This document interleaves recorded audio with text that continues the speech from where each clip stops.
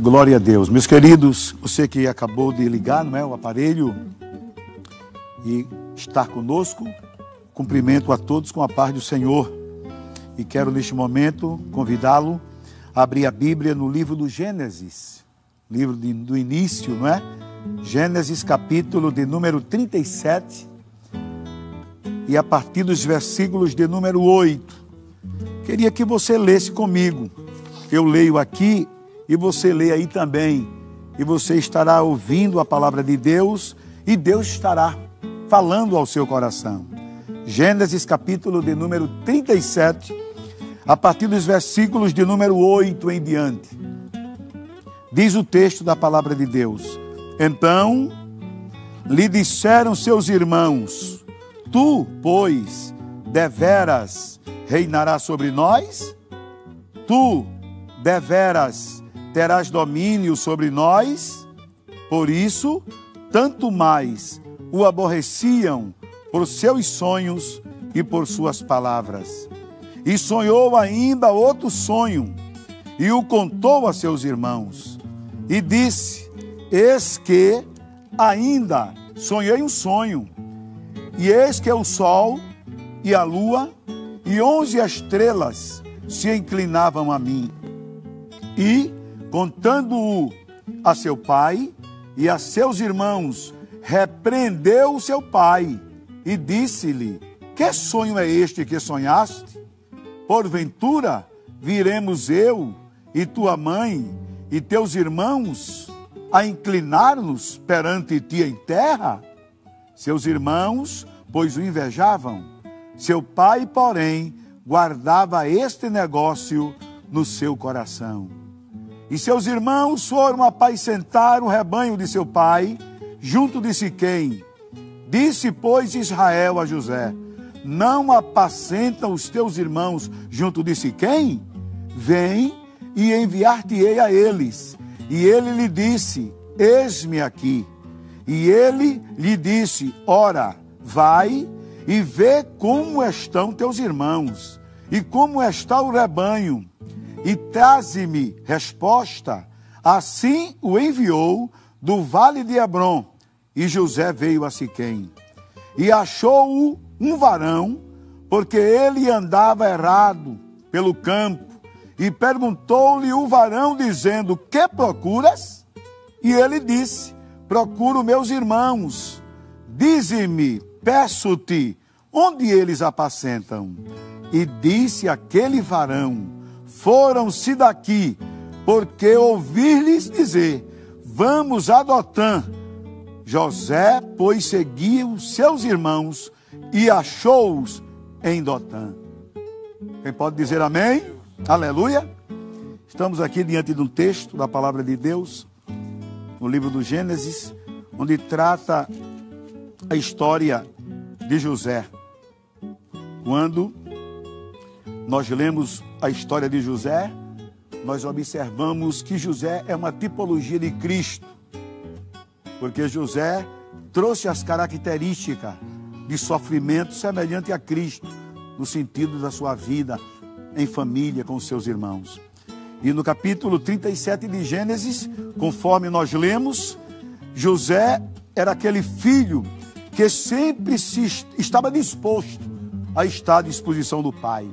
Mas isso trouxe problemas para ele, porque os seus irmãos, a partir de vê-lo como aquele que estava mais próximo do pai, e que estava servindo mais ao Pai, e que estava como aquele que via as coisas e levava para o Pai. Criou um obstáculo na vida de José. Foi a ira e o ódio dos seus irmãos para com ele. Mas eu queria através deste texto que nós lemos, trazer uma singela reflexão com o tema: Os escolhidos de Deus, Deus os esconde. Aleluia. Os escolhidos de Deus, Deus os esconde para guardar, para proteger, para livrar, para abençoar.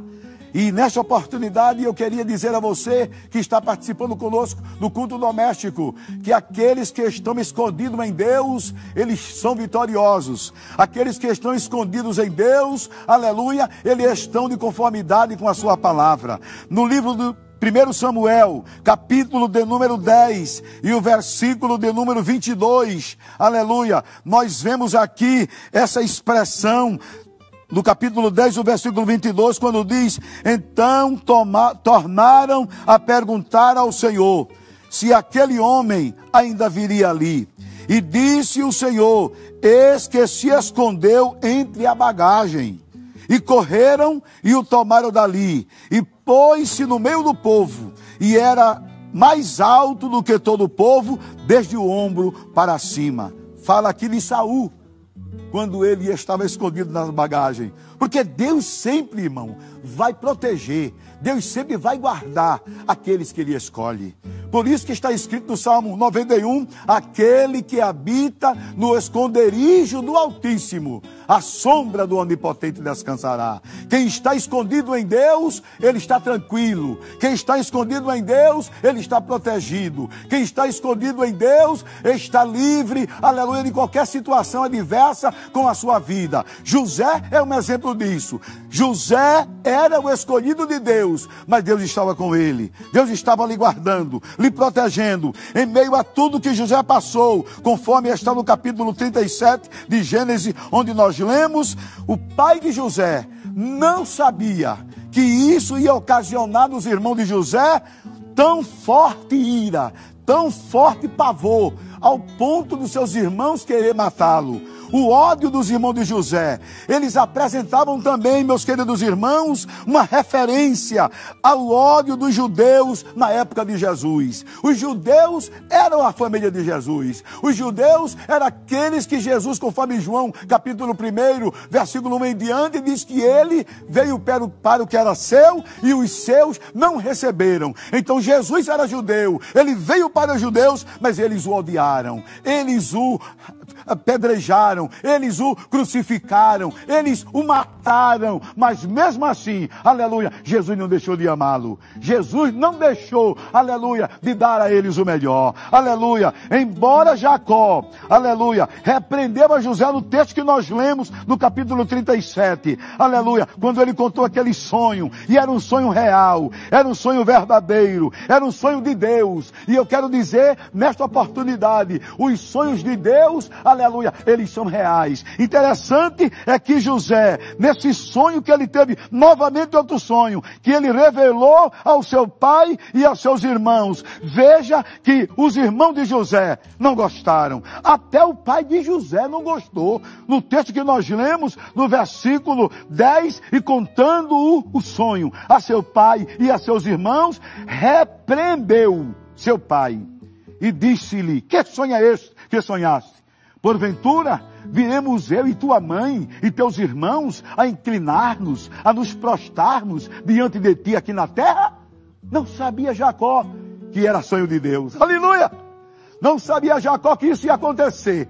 Não sabia Jacó que lá na frente, lá no Egito, o cenário já estava preparado. Não sabia Jacó que haveria uma grande fome na terra e que todos iam depender do Egito. Todos tinham que correr para o Egito. Não sabia Jacó que lá no Egito, quem era o governador era José. Aleluia, aleluia. Meus irmãos de José também tão pouco pensavam nisso, que nesta época José estava como governador do Egito. Mas esse sonho era real. Por que era real esse sonho? Porque o pai de José, a mãe de José e as onze estrelas, que eram os onze irmãos de José, tiveram que se inclinar perante ele. Aleluia! Em referência à autoridade que ele tinha como governador. Louvado seja o nome do Senhor. Mas interessante é que mesmo na repreensão que o pai de José deu, o texto diz assim para nós aqui nesta manhã. Aleluia! Seus irmãos, pois o invejavam. Versículo 11. Seus irmãos, pois o invejavam. Seu pai, porém, guardava este negócio no seu coração. Você entendeu? José guardava no coração. Que negócio? O sonho. O sonho, porque aquele sonho tinha um significado. Aquele sonho era um sonho de Deus. E outros sonhos que José teve também, com referência ao que Deus ia fazer na vida dele. E eu quero dizer, nesta manhã, no culto doméstico, ore a Deus, ore a Deus, busque a Deus, sirva a Deus, porque os sonhos de Deus vai acontecer na sua vida. Os sonhos de Deus, ele vai acontecer. Pode passar o tempo, pode passar os anos, pode passar os meses, você pode até envelhecer como Abraão envelheceu, mas eu quero dizer no culto doméstico, Abraão já com 100 anos de idade, aleluia, Deus cumpriu a sua palavra, porque Deus tinha dito a Abraão que era da sua semente, aleluia, que ele ia povoar toda a terra, a sua semente ia ser grande sobre a terra. E Abraão até não entendeu, mas como é que pode ser isso? Eu sou de idade, minha esposa também, mas aí o anjo que trouxe a mensagem disse, aleluia, há alguma coisa difícil ao Senhor?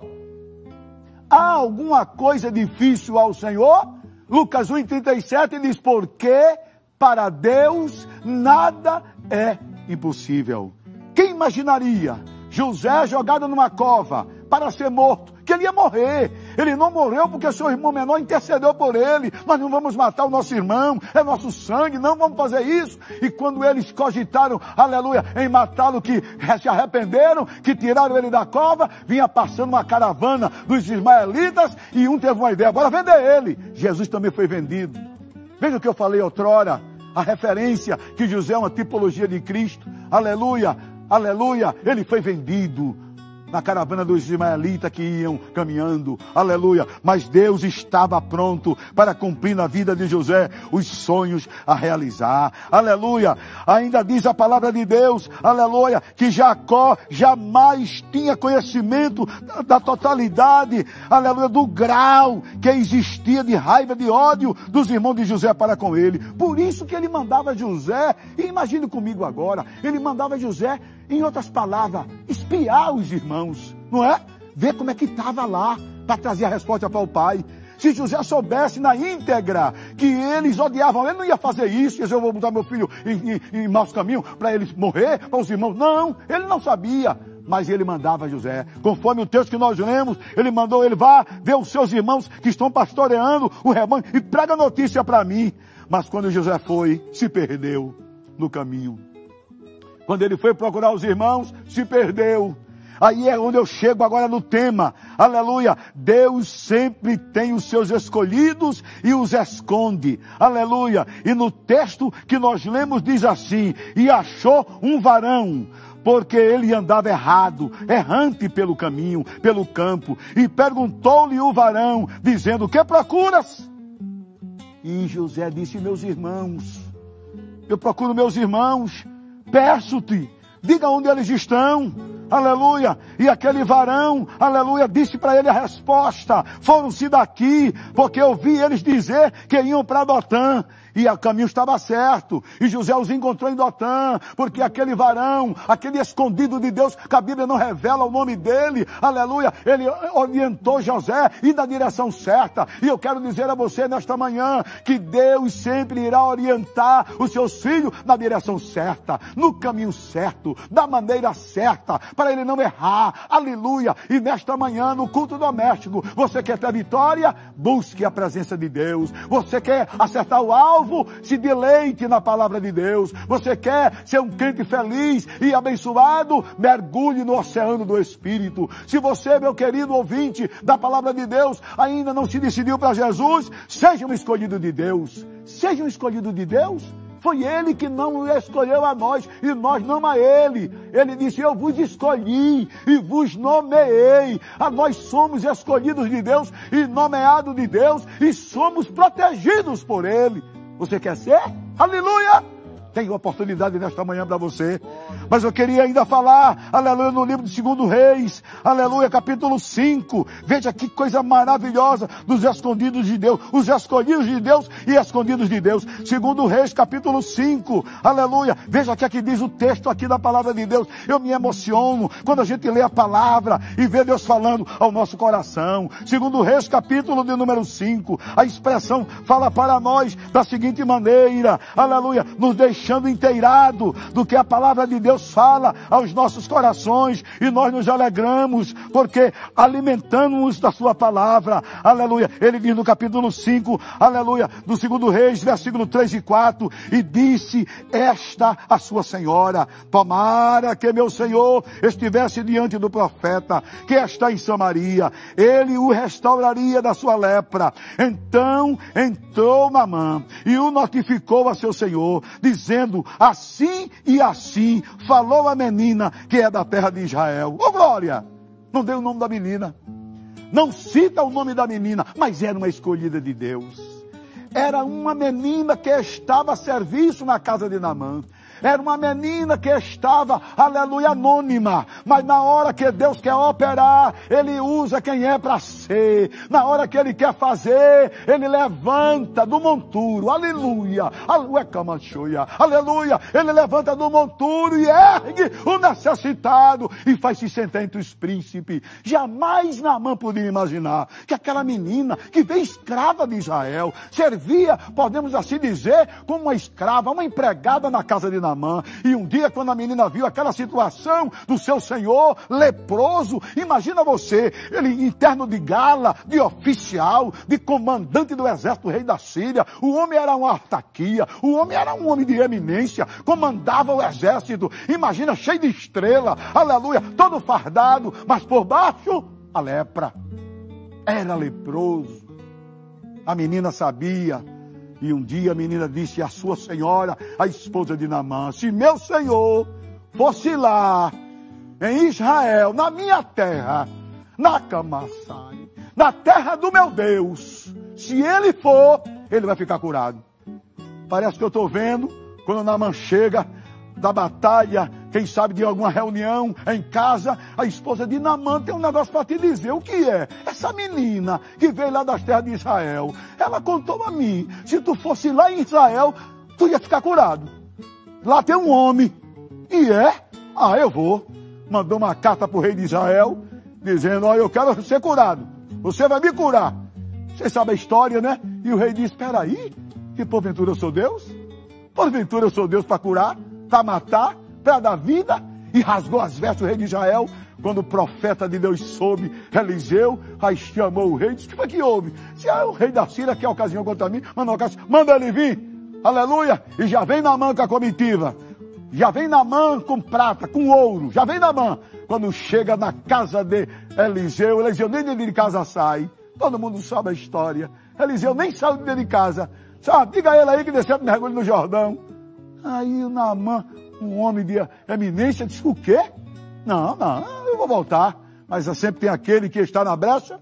E um dos seus disse: Mas Naamã, se ele pedisse alguma coisa mais difícil, você não faria? Não é para você ficar curado? Mas sete mergulhos no Jordão, eu tenho lá águas cristalinas, rio, rapá, e você toma os nomes. Mas obedece, homem. E quando ele deu sete mergulhos no Jordão, a sua pele se tornou como uma da criança. Como uma a pele de uma criança. Aleluia. A Bíblia diz que a sua pele se tornou como a pele de uma criança, porque a lepra foi embora, porque Deus tinha escolhido. Através daquela menina, o milagre aconteceu. E eu quero dizer a você nesta manhã: no culto doméstico tem milagre para você. No culto doméstico tem milagre para tua família. No culto doméstico tem milagre para tua casa. No culto doméstico tem a presença de Deus. No culto doméstico Deus fala para você. Deus, no culto doméstico Deus fala para nós que estamos aqui. Aleluia. Se você crê nisso, ligue para a Rede Brasil. Aceite Jesus como Salvador. Se volte para Ele com muita pressa, porque Deus quer ter você como um escolhido para te esconder.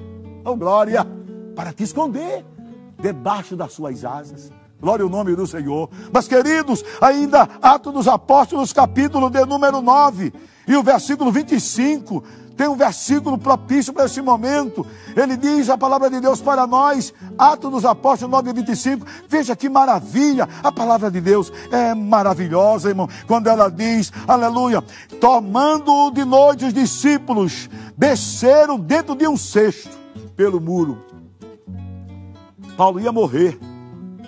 Queriam matá-lo, mas apareceu alguns, que a Bíblia não cita o nome, botaram Paulo no cesto e desceram pelo muro da cidade. Aleluia! Deus sempre tem os seus escolhidos e que os esconde. E eu quero dizer neste momento, diante do culto doméstico e diante da palavra de Deus, José teve vitória, porque José estava escondido em Deus.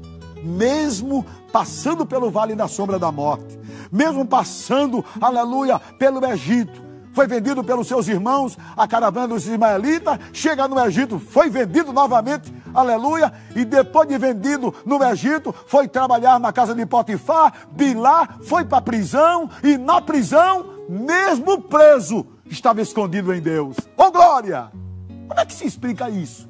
Na prisão escondido em Deus. É, na prisão, literalmente falando, mas estava escondido em Deus, porque na presciência de Deus, Deus já estava vendo José sentado no trono do Egito. Glória a Deus. Você crê nisso? E da prisão direto para o trono do Egito. Só Deus pode fazer isso. Que Deus abençoe sua vida. Que você possa, meu querido ouvinte da palavra de Deus, ser um escolhido de Deus. Deus quer te escolher. Deus quer que você abra seu coração. Deus quer que você se entregue para Ele. Deus quer que você entenda que a sua palavra, ela é um manancial de glória para a nossa vida. Amém? Que Deus lhe abençoe. Nós vamos orar por você, pela sua família, para Deus estender as suas mãos e você possa ser um escolhido de Deus para Ele te esconder. Maravilhoso Deus, eterno Pai. Nós louvamos pela tua palavra, Senhor. Te agradecemos neste momento, porque a tua palavra diz, Senhor, que tu és a nossa força, tu és o nosso esconderijo, Senhor da glória. Continua guardando, protegendo os teus servos, Senhor, nos escondendo deste mundo mal, nos escondendo das setas inflamadas do inimigo. Te louvamos pela vida do nosso pastor, te louvamos pela vida da Rede Brasil, te louvamos pela obra missionária, te louvamos pelas famílias, que nesta manhã haja salvação na família, haja milagre na sua família, é que tu possa curar esse teu servo que está no leito agora, participando do culto doméstico, em nome de Jesus, que ele receba a cura agora, a cura no rins, no pulmão, na mente, no coração, na diabetes, Senhor, em nome de Jesus, que haja milagres nessa manhã. Recebe a nossa gratidão, Senhor, abençoa as nossas vidas, Senhor da glória. Nós te agradecemos em nome de